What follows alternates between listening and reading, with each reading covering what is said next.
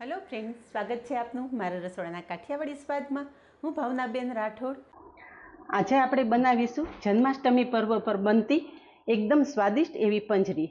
કૃષ્ણ જન્મમાં આ પંજરીનો પ્રસાદ તો હોય જ. તો ફ્રેન્ડ્સ આ પંજરીનો પ્રસાદ ઘરે બનાવવો એકદમ સહેલો છે.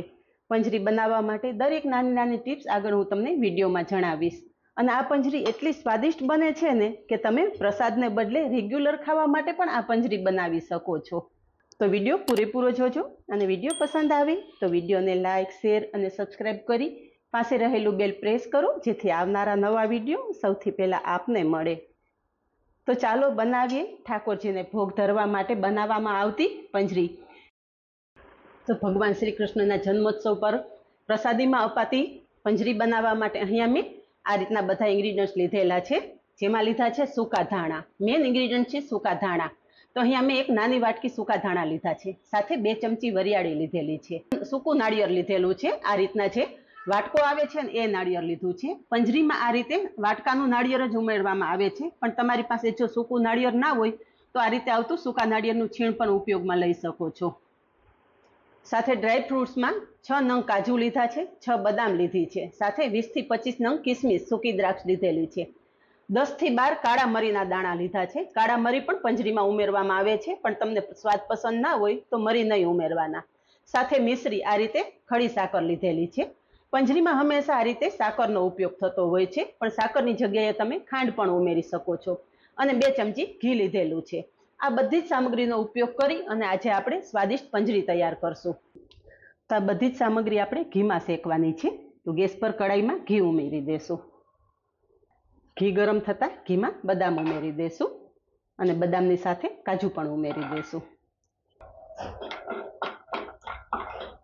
કાજુ બદામ ધીમા ગેસે એકદમ સરસ સાંતળી લેશું.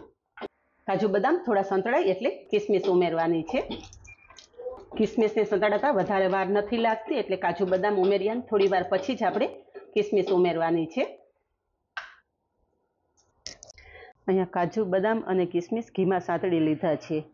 સોરી, જ્યારે મેં ધાણા વરિયાળી અને મરી કડાઈમાં સાંતળેલા એ વીડિયો મારે શૂટ થયેલો નથી, તો ધાણા વરિયાળી અને મરી પણ મેં એ જ ઘીમાં સાંતળી અને કાજુ બદામ કાઢેલા એ જ પ્લેટમાં કાઢી લીધા છે. અહીંયા મેં સાકર પીસી લીધી છે અને આ રીતે પાવડર કરી લીધો છે.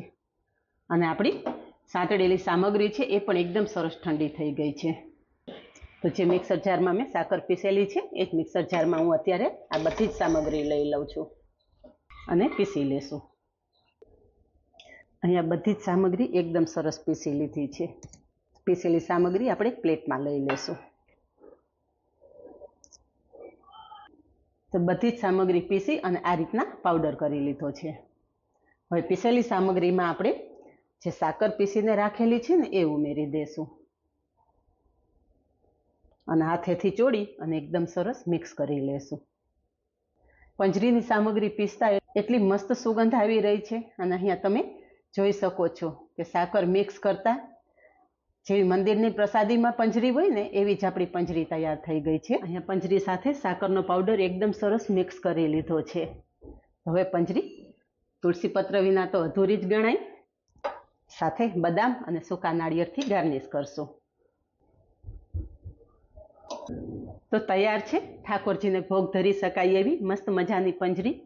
આ જ રીતે બનાવો અને કમેન્ટમાં જણાવો કે એકદમ સ્વાદિષ્ટ, માત્ર પંદર જ મિનિટમાં તૈયાર થઈ જતી પંજરીની રેસીપી કેવી લાગી?